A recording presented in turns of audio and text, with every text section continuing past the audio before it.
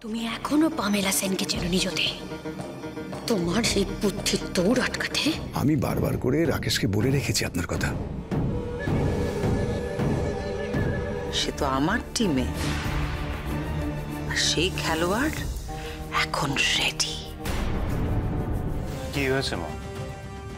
Any problem কই?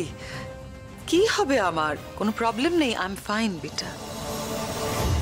ওই মেয়েটার হাত থেকে তোমার মুক্তি তোমার মমি এনে দেবে। সেই থেকে এই গয়নাগুলো বাক্সবন্দি হয়ে পড়ে আছে।